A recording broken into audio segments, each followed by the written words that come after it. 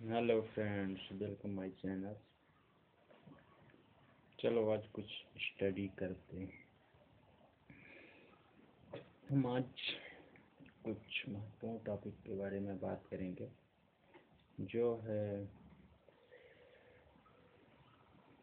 विश्व की प्रमुख जनजातियाँ। ठीक है? वो कहाँ कहाँ पाई जाती हैं प्रमुखता से कौन कौन जनजातियाँ कहाँ कहाँ? सो लेट्स स्टार्ट नाउ पहला हो गया स्क्रीमो स्कर्मियो ठीक है? ये ग्रीनलैंड और कनाडा में पाई जाती है। अगला हो गया खिरगीज। ये मध्य एशिया में पाई जाती है। इसके बाद अगला है माओरी, ये न्यूजीलैंड में पाई जाती है जनजाति। फिर इसके बाद जेलू, ये नेटाल प्रांत, दक्षिण अफ्रीका में पाई जाती है।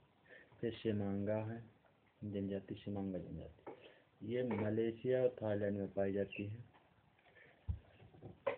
इसके बाद यूकाधीर। ये साइबेरिया में पाई जाती है। फिर इसके बाद रेड इंडियन।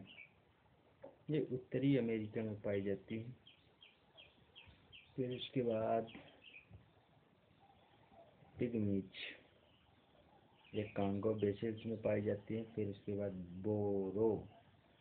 ये ब्राज़ील, अमेजोन बेसिन में के आसपास एरिया में पाई जाती हैं, ठीक है? फिर अगला नंबर है बदद्दू। क्या? बदद्दू जनजाति। ये अरब सागर में या अरब देश में पाई जाती है।